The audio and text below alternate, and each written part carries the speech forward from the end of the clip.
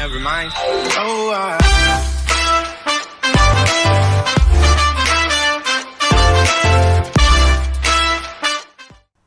Merhabalar. Her gün 5 phrasal verb öğreniyorum etkinliğinde 8. günde yine birlikteyiz arkadaşlar. Bu bölümde de gördüğünüz gibi çok önemli 5 adet phrasal verb'i sizler için hazırladım. Bunlarda şöyle bakacak olursak fall through, look after, keep in with, come up with ve rely on olarak belirledim arkadaşlar. Tabii ki bunların ilk olarak Türkçe anlamlarını sizlere vereceğim ve bunları daha iyi anlayabilmek için cümle içerisinde kullanacağız ve phrasal verb'leri çok daha rahat kavrayacaksınız arkadaşlar. Haydi bakalım. İlk phrasal verb fall through. Bir mecazi anlamda suya düşmek, güme gitmek gibi bir anlamda fall through kullanılır arkadaşlar. Örneğimize gidelim. Turizm kongresine katılmakla ilgili tüm planlar suya düştü, güme gitti. Anlamında fall through'u burada kullanacağız arkadaşlar. Haydi bakalım cümlemizi şimdi çevirelim. İlk olarak nereden başlamamız gerekiyor? Şöyle yapalım arkadaşlar. Tüm planlar diyelim ilk olarak ve bunu da about ile bağlayalım ilgili anlamında. Daha sonra turizm kongresine katılmakla ilgili bir ifade yazacağız. Şimdi başladığımız zaman cümlemizi çevirmeye. All the plans. All the plans. Tüm planlar. Şimdi sevgili arkadaşlar tüm planlardan sonra katılmak fiilini getireceğim. Ama burada fiil olarak mı gelecek yoksa isim olarak mı gelecek arkadaşlar? Katılmakla ilgili. Bakın arkadaşlar burada katılmak dediğim için burada mağışmak eklerinden bir tanesini almış fiilimiz ve burada fiilden isim olmuştur arkadaşlar. Bunu da İngilizce'de hangi yapıyla veriyoruz? İsimlendirerek gerund yapısıyla veriyoruz arkadaşlar. Yani fiilimize ing takısı getirerek fiilimizi isimleştiriyoruz. All the plans about hemen ilgiliden sonra hemen fiilden isim gelmiş halini yerleştireceğiz arkadaşlar. Şimdi katılmak fiilinin join normalde join fiilidir. Joining joining burada gerund yaptım arkadaşlar. Yani mağışmak eklerinden bir tanesini burada ifade ettim. Bunu da gerund'la veririz ve fiilimize ing takısı getiririz, isimleştiririz. Bunu da tabii ki gramatik kuralını bilmenizde fayda vardır arkadaşlar. All the plans about joining nereye katılmak? Turizm kongresine katılmakla ilgili. The Tourism Congress.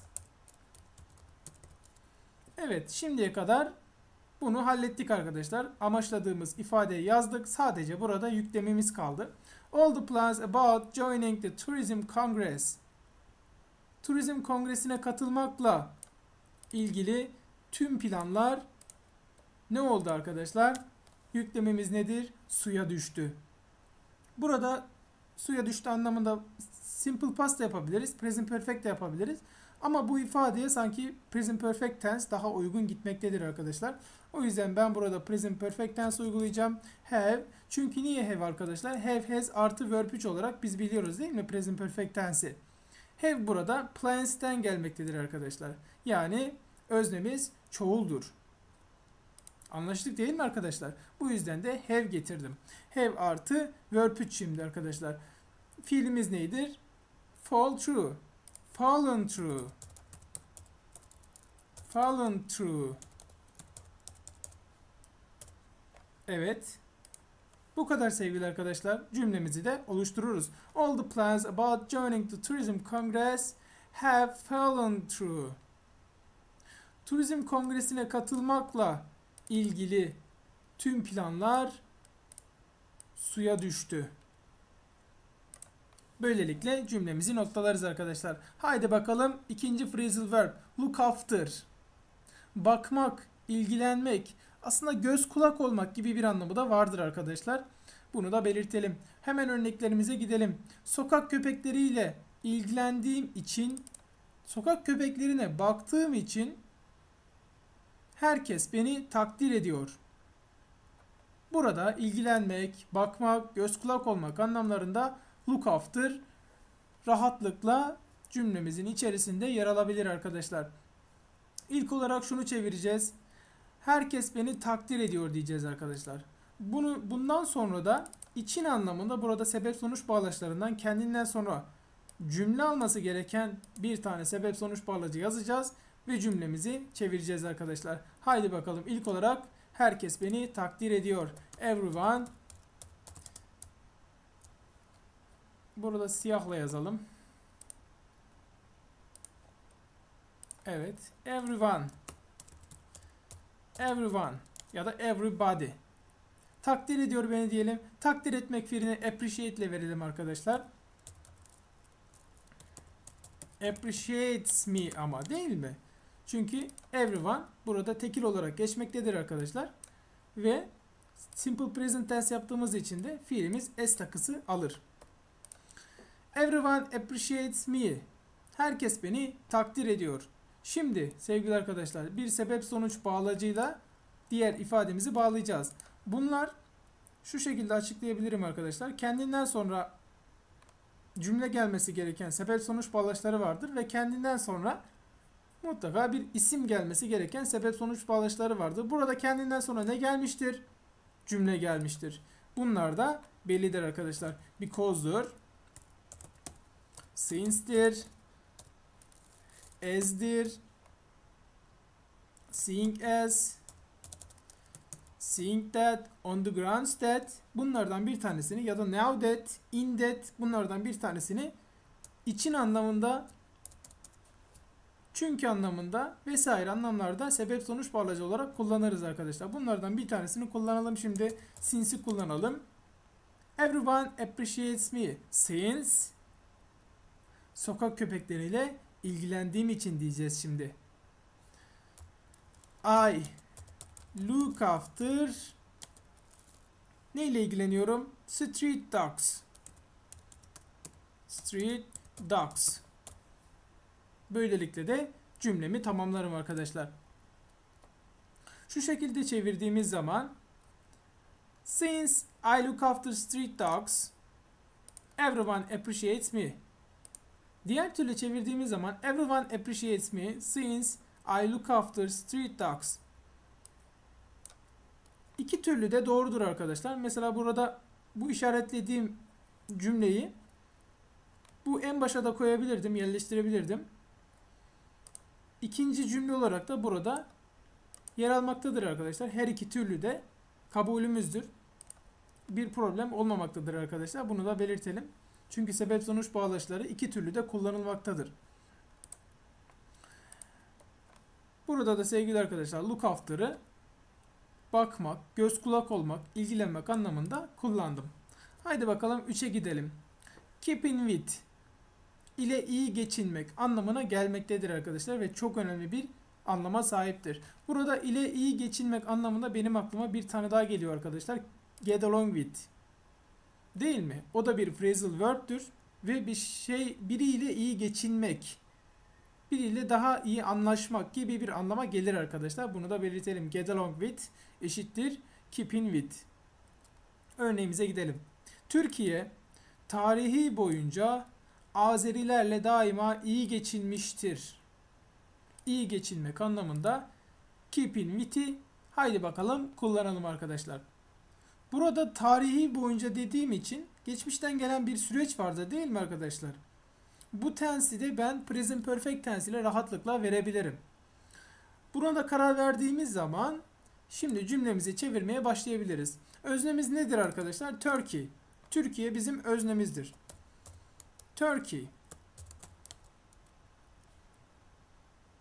Turkey. Evet.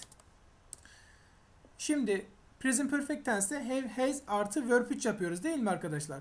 Have mi olacak, has mi olacak? Turkey burada tekil olduğu için tabii ki de has olacaktır arkadaşlar. Has. Burada daima diyor. Daimayı biz always ile verebiliriz. Always. Turkey has always. Şimdi keeping with'i getireceğiz arkadaşlar. Niye? İyi geçinmiştir diyeceğiz. Keeping with burada üçüncü halinde getireceğiz. Ama burada sadece keep değişecek değil mi arkadaşlar?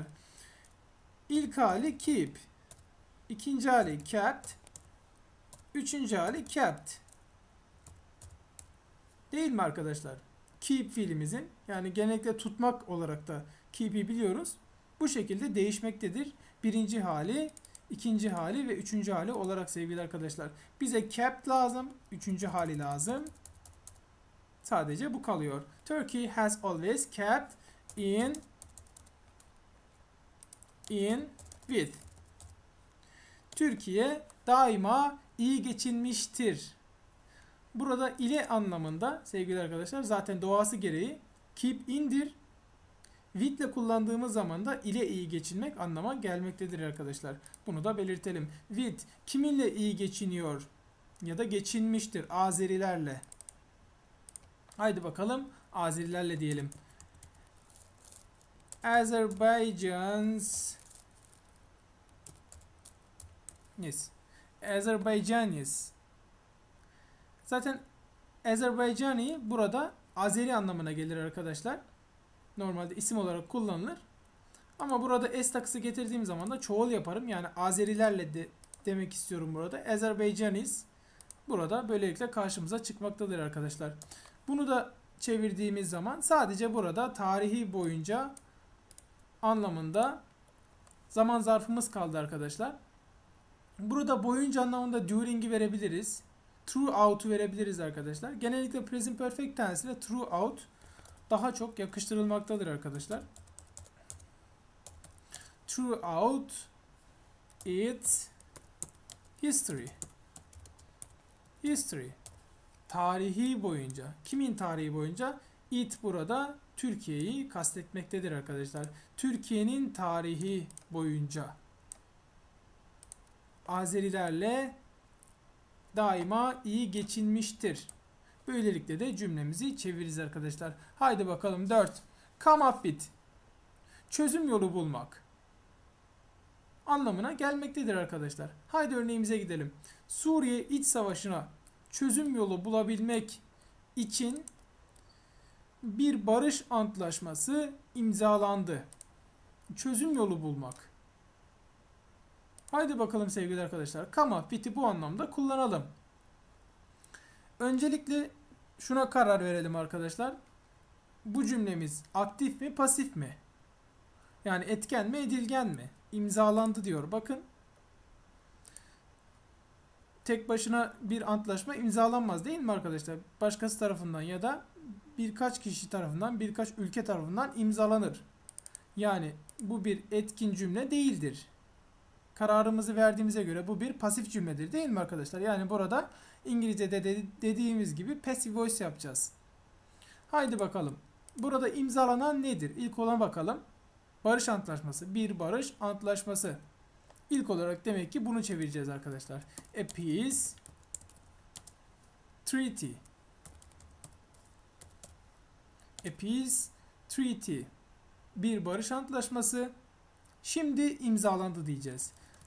Burada geçmiş bir zaman vardır arkadaşlar. Simple past tense'inde pasif halini yaptığımız zaman was were artı verb 3'tür.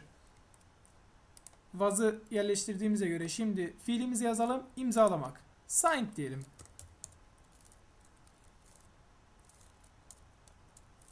Signed. A peace treaty was signed. Bir barış antlaşması imzalandı.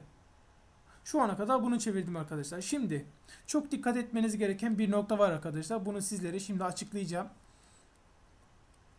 Öncelikle şunu yazacağız arkadaşlar. Çözüm yolu bulabilmek için diyeceğiz.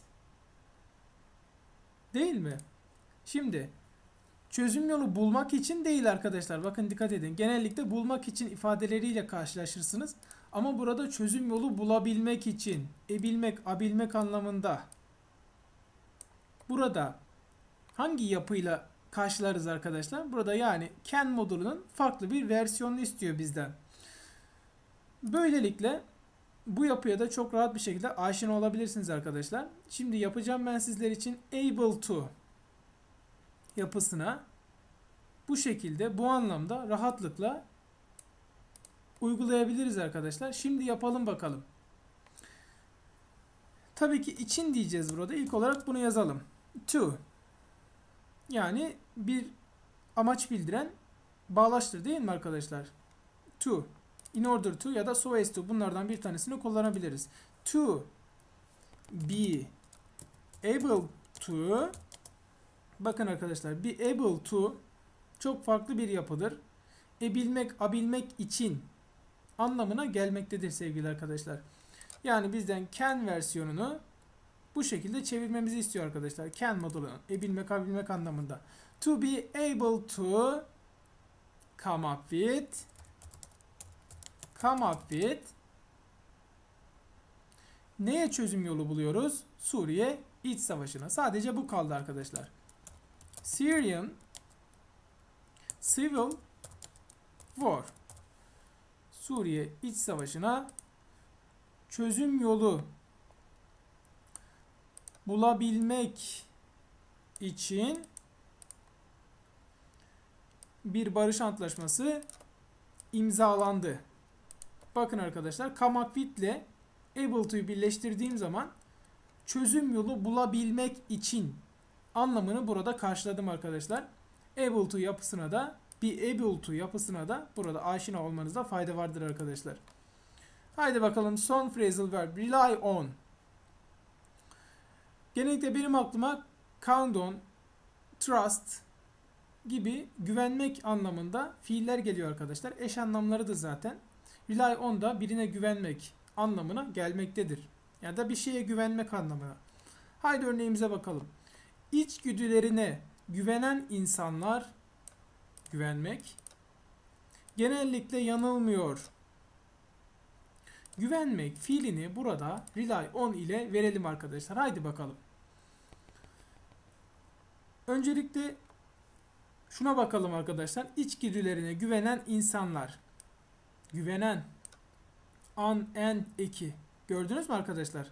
Anası mezar dikecekmiş eklerinden bir tanesidir. Yani sıfat cümlecidir bu. İngilizce'de biz bunu nasıl ifade ediyoruz arkadaşlar? Adjective clause. Yani diğer adıyla relative clause. Haydi bakalım. İlk olarak nitelenen isim nedir? İnsanlar. The people. The people. Şimdi sevgili arkadaşlar şuna karar verelim. Adjective clause'da biz e, genellikle ikiye ayırıyoruz arkadaşlar. Birincisi nitelenen isim insan mı ya da varlık mı? Eğer insansa tabii ki people insan olduğu için arkadaşlar burada relative word'lerimiz bellidir. Who, whom ya da that bunlardan birkaçıdır arkadaşlar. Burada tabii ki virgül olmadığı için that de rahatlıkla kullanılabilir arkadaşlar. Ama burada who kullanmak istiyorum ben. The people who rely on güvenen insanlar. Ama neye güveniyor? Onu da yazalım. İçgüdülerine their onların instincts instincts içgüdülerine güvenen insanlar devam edelim. Genellikle yanılmıyor. Yanılmıyor burada tabii ki olumsuz bir ifadedir arkadaşlar ve simple present tense yapalım burada. People dediğimiz için de burada don't ya da doesn't'tan bir tanesini kullanacağız. Don't kullanacağız tabii ki. Niye? People çoğuldur değil mi arkadaşlar? Don't often genellikle dediğimiz için frequently de kullanabiliriz. Generally de kullanabiliriz burada arkadaşlar. Often da rahatlıkla sık sık ya da genellikle anlamlarında kullanılmaktadır. Don't often Şimdi yanılıyor diyeceğiz. Yanılmak fiilini neyle verebiliriz arkadaşlar? Ear ile verebiliriz, stumble ile verebiliriz ya da be artı wrong ile de verebiliriz tabii ki. Burada ear ile verelim arkadaşlar. Çok farklı bir fiildir. Belki aşina değilseniz de bu sayede öğrenebilirsiniz arkadaşlar. Yanılmak anlamına gelmektedir ya da stumble'da kullanılabilir burada. Stumble stumble, yanılmak anlamına gelmektedir arkadaşlar. Bunlara da aşina olmanızda fayda vardır tabii ki. Cümlemizi de bu şekilde sonuçlandırırız. The people who rely on their instincts don't often err. İçgüdülerine güvenen insanlar genellikle yanılmıyorlar. Bu şekilde de Türkçe'ye çeviririz arkadaşlar cümlemizi. 8. bölümümüzün de sonuna geldik sevgili arkadaşlar. hem phrasal verb'lerimizi öğreniyoruz hem de farklı gramatik özellikleri, gramatik kuralları, kuralları sizlere burada aktarmaya çalışıyorum arkadaşlar. Umarım sizlere de bu kurallar, bu phrasal verb'ler çok çok faydalı olur ve sınavlarımızda başarırız arkadaşlar. Görüşmek üzere, hoşçakalın.